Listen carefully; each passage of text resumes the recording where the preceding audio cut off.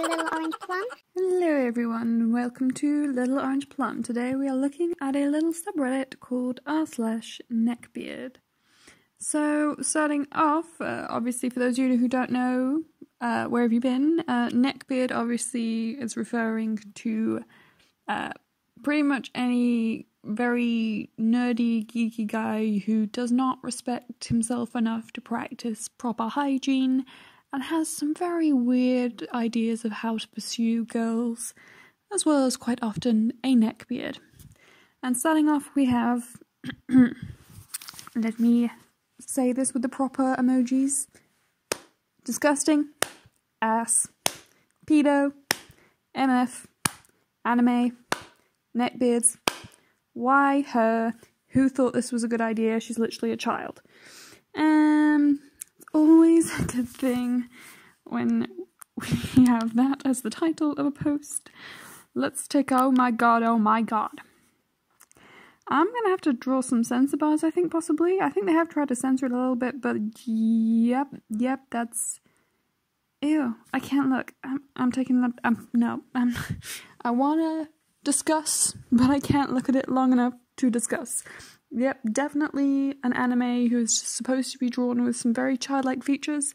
Uh, fortunately, this is not one that I follow. I love it when the creepy ass shit that's posted on the internet ruining stories for people is not one of the stories that are ruined for me. I love it when it's not my story for once because so many times it's my favorite characters that are being sexualized in some very creepy ways and just I'm sorry to the people who follow this fandom that they have done this to this poor child. But yay, it's not me for once. That's all I can say. I'm just, I'm just, I'm just happy it's not one of my ones for once. But yes, obviously another regular trait of our neckbeards is the tendency to pursue very young girls, and then act like it's surprising when people treat them as though they are creepy. Oh, poor me! I am such a victimized, innocent little neckbeard pursuing all of the children and the little girls. Clearly, I am the one who is being victimized when I, a fully grown adult man, pursue a little girl. Sexually. You poor thing. You poor dear. Anyway, next, moving on to I Have No Words. Again, these titles are so promising. Um, it's another screen that I'm going to have to go into to get it to load. Is this another not safe for work one we have? Brown Snuggle Bear sends the message Aloha, milady. Is this satire? I, seriously? My oh my, you are superly duperly drop dead jaw droppingly beautiful. How art thou this fine day, a my fair maiden? I'm sorry, but this has to be a joke. This has to be satire. I, I refuse to believe that any man is so detached from the reality that he genuinely sent this as anything other than a joke. I'm I have I have to. I am an optimist. I'm looking on the bright side. I am presuming that it is a joke because the the other option is just too terrible to imagine. It has to be a joke. It has to be. But um, yeah, there's your classic every single neckbeard stereotype and total cringe. But gotta be a joke. It's gotta be satire. I I am being I'm thinking positive. I I choose to believe it's satire. We have he posts this crap every day. the ultimate self destruction dating women. Of course, it's the Joker every incel's favorite movie. Just, um, yeah, it's just. I just hope it's a teenager. I really hope this was sent by a teenage boy who has been hurt. He's gotten a little emotional boo boo from his first ever girlfriend, and that this is not a fully grown adult ass man posting this kind of cringe because, dude we all got dumped one time or another doesn't mean that this suddenly becomes not cr- total cringe. Just, just, we're being optimistic today. He's probably a teenager, okay? I've, I have decided. Looking on the bright side, probably just very young and very naive. We hope. we then have this is under a cat video. Can can I see the cat? Oh, there's no cat. This is sad. Anyway, guys, I'm shaking. I'm fucking shaking. I never wanted to breed. I have to I have to stop and do this again in the voice. Guys, I'm shaking. I'm fucking shaking. I never wanted to breed with anyone more than I wanted to breed with female Johnny Test. That perfect curvy body, those bountiful breasts. What the fuck are you gonna eat this girl? Uh, uh guys, run! Potential cannibal alert! Run for your lives! He wants her bountiful breasts. Um, the child-bearing hips of a literal goddess. It honestly fucking hurts knowing that I'll never mate with her.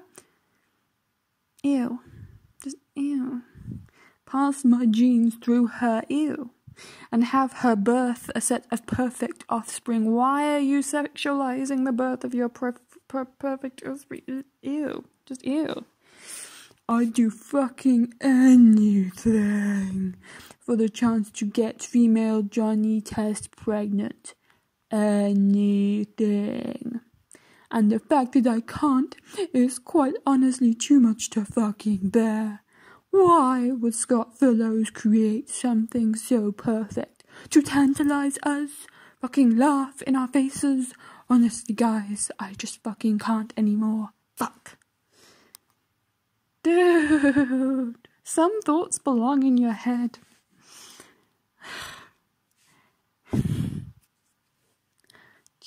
Mm, I can't. It's just so icky. It's just so icky. You ever get that feeling that some guys really, really, really want to have a kid with a woman because they're just so desperate to trap her? And there's a part of them that recognizes that literally tying a woman down and holding her hostage is creepy, so they're just going to use legal means that they can use to trap a woman, you know, making her have a baby with him so that she feels obligated to at least try to make it work with him for the sake of her child. Like, I'm, I'm getting a trappy hostage taking vibe. I don't know why.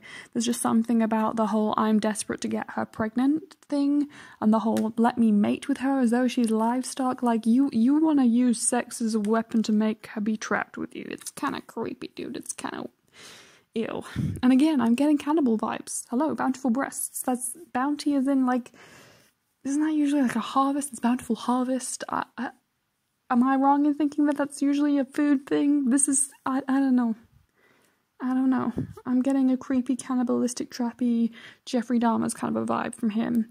Um, I think I need to move on because there's no damn cat. I was promised that this was under a cat video and they did not show the cat video. I am sad about the lack of cats very sad. Anyway, so I'm a 15 year old pageant girl, and this tried um, this dude tried to follow me on my Insta. Ah. Please be satire. Like I I, I want to choose to believe that this is a joke. We have a Christian banjo plucking, guitar picking, tap dancing, first degree black belt tie wearing whip cracking, cracking YouTuber that goes to UNA. Normal, right? Oh my gosh, guys, guys. He's not like the other boys. You know how you get those girls who are not like the other girls? They they don't like pink and they don't like girly things. They're not like the other gir- girls. I do believe we found a neckbeard who is not like the other boys. You see, um, he's a black belt. Um, you know, he has so many hobbies. He's not like the other boys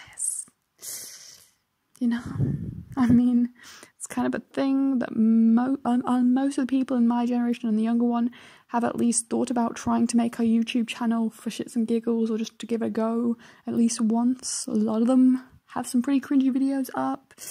Um, Christian, most common religion. Most people have tried to learn musical instruments, and you never said you were amazing. You never showed you were amazing at musical instruments. You just said you'd picked up one and tried to play. You're a guitar plucking, picking guy, tap dancing, no actual claim to be good at tap dancing. Literally, the only thing he's claiming to be any good at is the martial arts, which, um, which martial arts? Um, and also, where did you train? Because some places, some, I, I, I don't. I don't know about everyone else, but if you've um, looked into martial arts, you've probably heard the term McDojo. You know, those places where you can basically buy a black belt. Doesn't mean you're any good at fighting, but yeah, you're special. You're not like the other guys. And also, again, with the creepy pedo thing, she's 15, dude. Why are you following random strange girls who are 15 year old beauty pageant con- um, girls on Insta? Because, like, I'm sorry, but guys, as a general rule, like the only men who I don't do not personally know from my life who try to follow me on my Insta um, guys who are trying to slide into my DMs in that sexual way, and um, guys who have a professional reason. Like, um, as I say, I'm a I work in the entertainment in- industry, so I get, you know, dancers, choreographers, videographers, photographers, directors, people like that trying to follow me because they think it might be helpful to their career to have me as a contact. They're genuinely going to follow me and not be creepy every other guy who's a random stranger who wants to follow me on my Instagram, either he's like a desperate wannabe YouTuber slash musician slash social media influencer slash wannabe making his own business out of t-shirts entrepreneur who really wants my support and hopes I'll follow his stuff, or he's sliding into my DMs in that sexual way. So um boy, all I can say because she's waiting for to see what happens next. There is um in the comment section there's no further action taken, just trying to follow her, but on a private account apparently. Um so all I can say is I hope you get that message following up with Hi, I'm a photographer. Do you need headshots for your pageant? Or that other message that goes, Hi, I'm an aspiring musician. Please look at my music. Because otherwise, it's going to be some creepy ass, pervy stuff. It's like, dude, you're not like the other guys because you're probably not a little girl. Anyway, let's finish it up with MLP still sucks. This was reposted from Virgin versus Chad. We have My Little Virgin versus SpongeBob SquarePants. Um, Sponge Chad SquarePants. and this is a supposed Chad who's wanting to make fun of the supposed incels. Methinks you are compensating OP. But okay, so we have the mascot of the Neckbeards doesn't have cool um have any cool games, annoying ass theme song, has no good memes. To be fair, there I have not seen any good games or memes coming out of My Little Pony. I like that song, okay. Um, who the fuck voices the main character? Don't know, but they have some very good voices. Um, the um, guy who's basically like Q in that show is basically Q. Okay, he's a good actor. And then reforms villains as supporting characters because they're too um, too pussy to kill them up. Some of us believe in a reform system of um, justice, not just killing the bad guys. So I support teaching children that sometimes people can change. That's a good message, I think.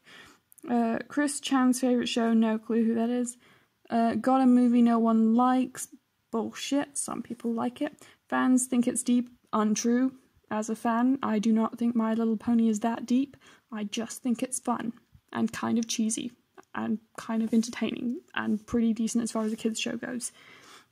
Has not met any cool celebrities that's not something that makes you a good or valuable person.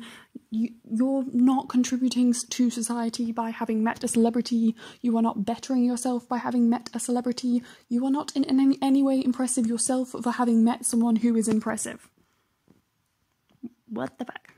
Had to look up this bitch's name to draw her.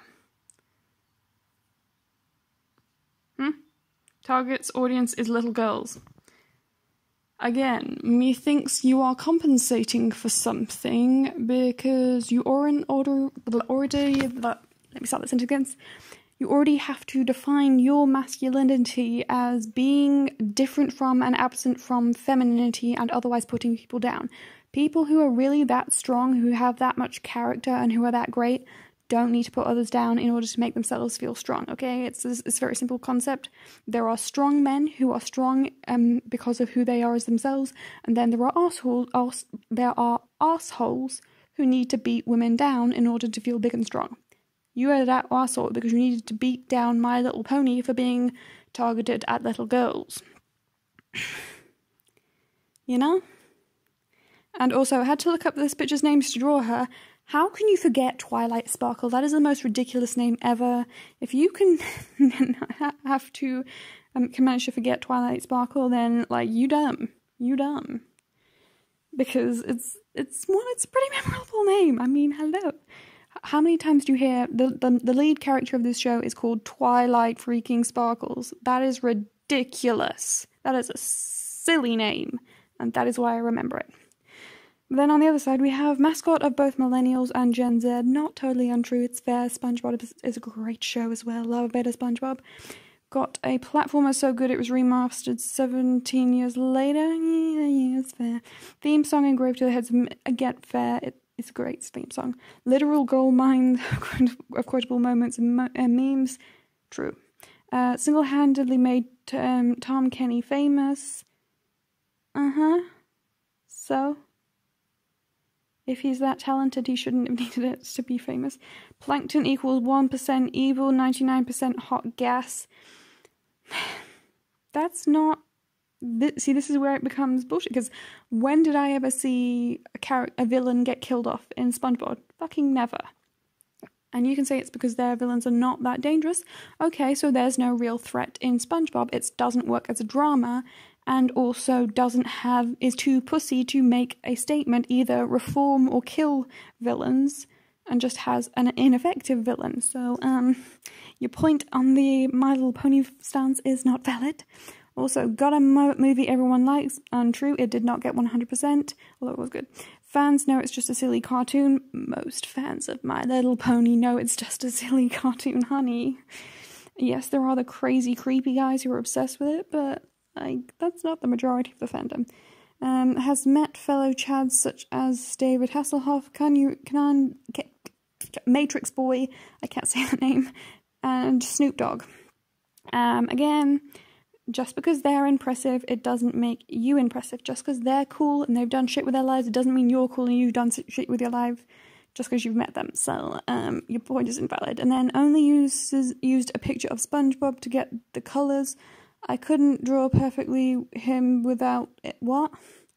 You didn't draw it very well anyway, uh, and the fact that it is memorable, and the fact that you have watched SpongeBob and can remember SpongeBob, but you have not given My Little Pony a chance and can't remember it means, you know. Also, target audience are both children and adults. Do you think girls are equivalent to being children? That's creepy, and I think the reason why this guy feels the need to attack neckbeards and incels so much is because you have a lot in common with them. You just implied that all women are like children.